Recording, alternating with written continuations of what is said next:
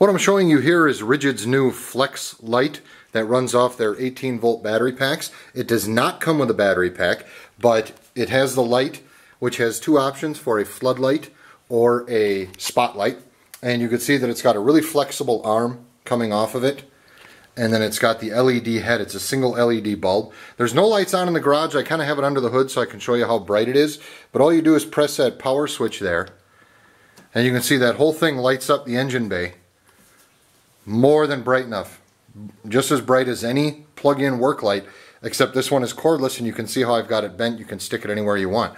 Now if you want a spotlight, you just turn that head around and you can get a direct spotlight exactly where you need it. You can see that spot moving around, all the different areas on there.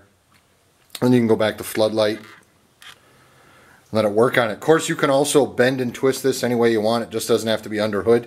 You can hang this from a rafter. You can twist this around a, uh, you know, over the top of a uh, 2x4 and wrap it around. You can hang it from some plumbing if you're working in the basement. Anything like that, you can hang it underneath the frame rail and get it to go on and off and have it hang there. It runs for almost like an entire workday just on a regular uh, 2 amp hour Ridgid 18 volt battery pack. So if you have the Ridgid battery pack system, this is a good light. It's very durable. Um, it does store into itself like so. And then you kind of got it hanging like that so you can just kind of pick it up, carry it any way you want.